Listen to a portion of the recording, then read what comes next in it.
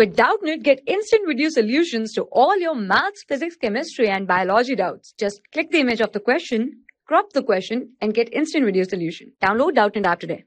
Hello everyone, let me explain this question to you. A manometer tube contain mercury of density 13.6 into 10 power 3 kg per meter cube. What difference in the level of mercury in the two arms is indicated by a gauge pressure of 1.03 into 10 power 5 Pascal. Okay, so we have to calculate pressure difference, uh, level difference, and that level difference in level.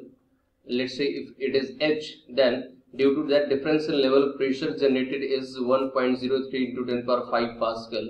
So this pressure should be equals to rho g into H, where H is the difference in level. H is the difference in level. So this pressure is equals to rho g H, where P is the pressure indicated so this is equals to 1.03 into 10 to the power 5 equals to density of mercury which is given 13.6 into 10 to the power 3 into let's say value of G is 10 and this height is the level difference in level uh, of mercury in 2 ohms.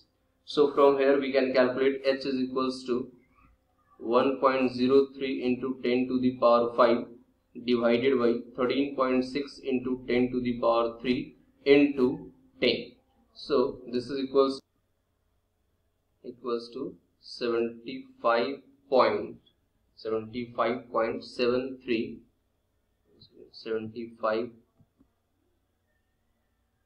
point seven three centimeter. So I hope you understood the explanation. Thank you. For class 6 to 12, IIT JEE and NEET level. Trusted by more than 5 crore students. Download Doubtnut app today.